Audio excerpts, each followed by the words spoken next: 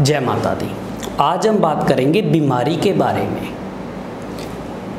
जिन लोगों को भी सांस से संबंधित तकलीफ़ें रहती है, अस्थमा की दिक्कतें रहती है, फेफड़ों से संबंधित तकलीफ़ें रहती है, या बहुत जल्दी जुकाम हो जाता है, सर्दी हो जाती है, और खांसी बहुत जल्दी हो जाती है, और जुकाम सर्दी होकर के काफ़ी काफ़ी दिनों तक जाती नहीं है, ऐसे लोगों की कुंडलियों में कौन सा ग्रह खराब होता है?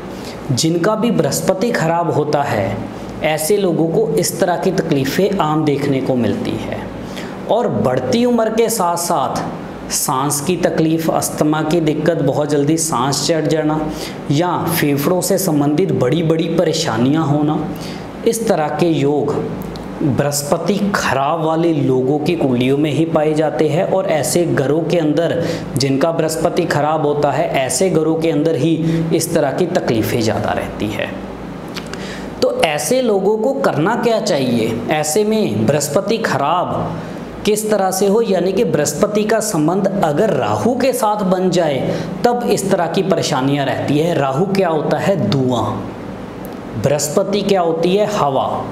हम लोगों ने कई बार देखा होगा कि अगर हम धुएँ वाले एरिए में जाते हैं, वहाँ जा कर के अक्सर हमें जब सांस अच्छे से नहीं मिल पाती तो हमें खांसी होने लगती है। हमारा मन करता है कि यहाँ से हम चले जाए ताकि हम अच्छी सांस ले पाए।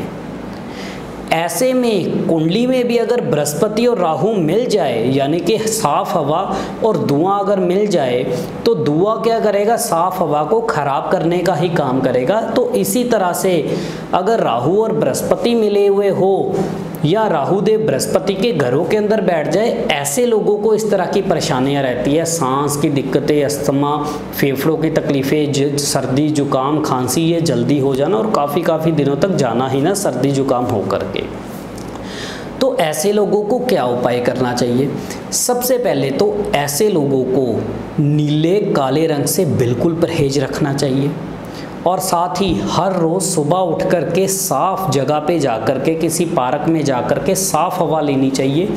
क्योंकि जो सुबह की सुबह के समय की जो ऑक्सीजन होती है, उसमें पल्यूशन बहुत कम होता है या नाम मात्र के बराबर होता है। और जो हम फ्रेश ऑक्सीजन लेते हैं, इससे हमारे अंदर बृहस्पति की एनर्जी बढ़ती है, राहु की एनर्जी कम होती है। यानी कि साफ़ हवा ज़्यादा होगी धुआँ ख़त्म होता जाएगा। यानी कि राहु। तो ऐसे में इस तरह की परेशानियाँ अपने आप कम होती चली जाएँगी। और साथ में ऐसे लोगों को 43 दिन लगातार 400 ग्राम चने की दाल लेकर के सर से सात बार उतार के चलती हुई नदी में जल प्रवाहित ज़रूर करनी चाहिए। अगर आप जल प्रवाहित नहीं कर सकते तो आसपास के किसी मंदिर में भी रख सकते हो। और ऐसे लोगों को अपने घर को बिल्कुल साफ़ सुथरा रखना चाहिए।